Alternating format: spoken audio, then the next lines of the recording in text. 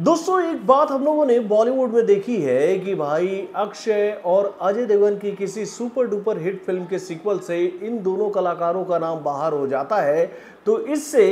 फ़िल्मों के दीवानों को कोई फ़र्क नहीं पड़ता है। लेकिन यहीं पर अगर मैं आप लोगों से ये बात कहूँ कि भाई शाहरुख खान की किसी सुपर डुपर हिट फ़िल्म के सीक्वल से या फिर सलमान खान की किसी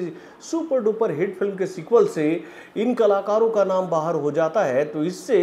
भैया, शाहरुख और सलमान खान के दीवानों को काफ़ी फ़र्क पड़ता है और वो सीधे तौर पर ये बात उन फ़िल्मों के मेकर से कहते हैं कि भाई, अगर इन फ़िल्मों में हमारे कलाकार नहीं तो भैया, हमको आपके फ़िल्म से कोई सरोकार नहीं। यानी कि भैया, आप अपनी फ़िल्म खुद बनाइए और खुद सिनेमा घरों में जाकर देखिए।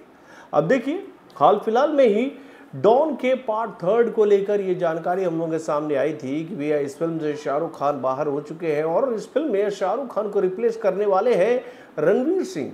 लेकिन भैया जैसे ही ये नाम किंग खान के दीवानों के सामने आया कि भैया इस फ़िल्म के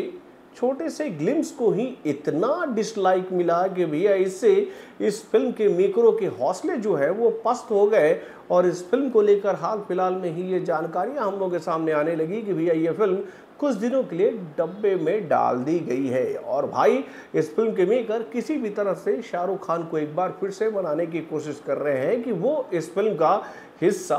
बन जाए। ठीक ऐसा ही होता है भैया सलमान खान के फ़िल्मों के साथ भी, अगर भैया सलमान खान की किसी सुपर डुपर हिट फ़िल्म के फ्रेंचाइजी से अगर उनका नाम बदल दिया जाए तो भैया ये बात सलमान खान के दीवानों को भी नागवार गुजरती है। अब देखिए, हाल फ़िलहाल में ही सलमान खान की एक सुपर डुपर हिट फ़िल्म, यानी कि भैया नो एंट्री के पार्ट टू को लेकर ये जानकारी हम लोग के सामने आई कि भैया इस फ़िल्म से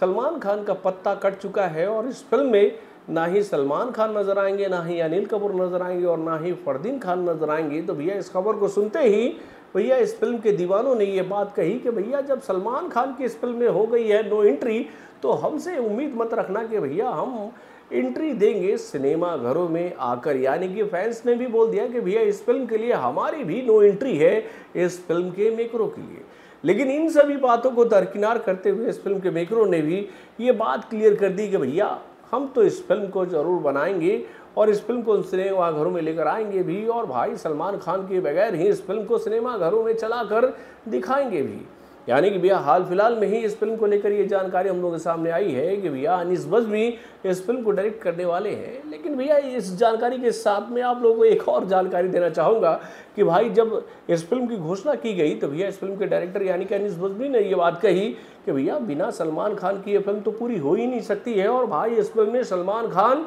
हर हालत में होंगे। लेकिन भाई कैसे होंगे हर हालत में इस फ़िल्म में सलमान खान? क्योंकि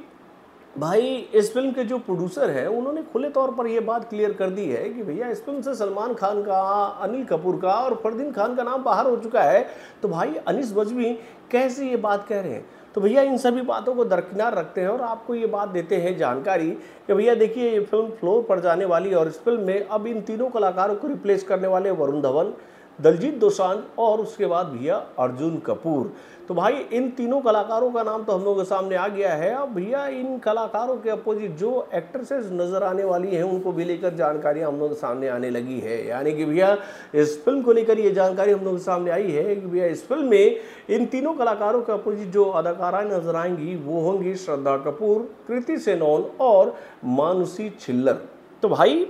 सलमान खान का नाम आउट लेकिन भैया, इस फ़िल्म के डायरेक्टर अनिस बजमी ये बात कह रहे हैं कि भैया, इस फ़िल्म में वो होंगे तो भाई कैसे होंगे? क्योंकि भैया, एक मयान में दो तलवार कभी रह सकते हैं क्या? क्योंकि भैया, इस फ़िल्म में अगर अर्जुन कपूर है तो भैया, ये बात तो हम सब अच्छी तरीके से जानते हैं कि भाई, सलमान खान ने बोनी कपूर को लेकर ये बात कही है कि भैया, उनसे उनकी कोई अदावत नहीं है, लेकिन वो अर्जुन कपूर के साथ दोस्ती नहीं बढ़ाने वाले हैं। यानी कि भाई अर्जुन कपूर ने जो दर्द दिया है सलमान खान की फैमिली को, उससे आज भी उबर नहीं पाई है सलमान खान की फैमिली। तो भाई, अब सलमान खान की फ़िल्म में अगर सलमान खान को रिप्लेस कर रहे हैं अर्जुन कपूर तो भैया क्या ये बात सलमान खान के दीवानों को हजम होगी? अपने कमेंट के माध्यम से हमें ज़रूर बताइएगा। तो बॉलीवुड से जुड़े और भी कई सारे खबरों को जानने के लिए हमारे चैनल यानी कि वारन जंक्शन को लाइक करना ना भूलिएगा और मारने अपडेट्स को जानने के लिए बेलाइकन को ज़ोर दबाइएगा।